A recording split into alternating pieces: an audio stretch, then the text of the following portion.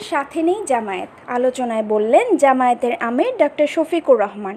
দীর্ঘদিন ধরে টানাপোড়েনে চলছিল বিশ দলীয় জোটের অন্যতম প্রধান দুই দল, বিএনপি ও জামায়াতের মধ্যে। বিএনপি নেতারা বিভিন্ন সময়ে জামায়াত ছাড়ার কথা বললেও জামায়াতের পক্ষ থেকে কেউ এ বিষয়ে মুখ খোলেননি। তবে সম্প্রতি এক সভায় ভার্চুয়াল বক্তব্যে বিএনপি নেতৃত্বাধীন বিশ দলীয় জোটের ব্যাপারে নিজেদের অবস্থান স্পষ্ট করেন জামায়াতের আমির ডক্টর শফিকুর রহমান। জামায়াত আমিরের দেয়া বক্তব্যের ভিডিও ক্লিপ সাংবাদিকদের কাছে ছড়িয়ে পড়ে।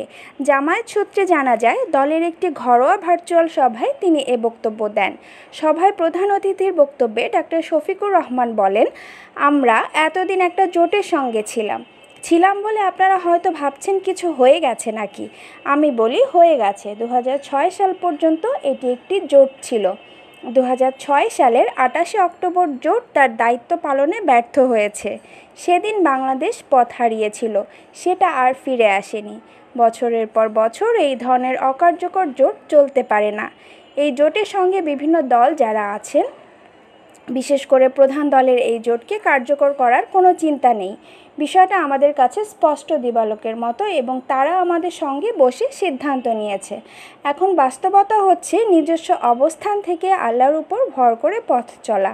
তবে হ্যাঁ জাতীয় স্বার্থে একই দাবিতে যুগপথ কর্মসূচি বাস্তবায়ন করব ইনশাআল্লাহ।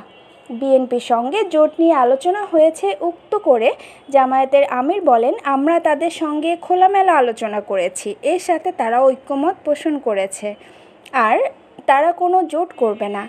এখন যার যার অবস্থান থেকে সর্বোচ্চটা দিয়ে চেষ্টা করব। যদি আল্লাহ আমাদের তৌফিক দান করেন, তাহলে আমাদের আগামী দিনগুলোতে কঠিন প্রস্তুতি নিতে হবে এবং অনেক বেশি ত্যাগ স্বীকার করতে হবে। দোয়া করেন, এ সকল ত্যাগ যেন আল্লাহর দরবারে মঙ্গলজনক হয়। এ ত্যাগের বিনিময়ে আল্লাহ পাক যেন আমাদের পবিত্র একটি দেশ দান করেন, যে দেশটা কোরআনের আইনে পরিচালিত হবে। উনিশশো নিরানব্বই সালের ছয় জানুয়ারি জাতীয় পার্টির চেয়ারম্যান হুসেইন মোহাম্মদ এরশাদ জামায়াতের তৎকালীন আমির গোলাম আজম এবং ইসলামী ঐক্যজোটের তৎকালীন চেয়ারম্যান শায়েখুল হাদিস আজিজুল হককে সঙ্গে নিয়ে চার দলীয় জোট গঠন করেন বিএনপি চেয়ারপারসন বেগম খালেদা জিয়া।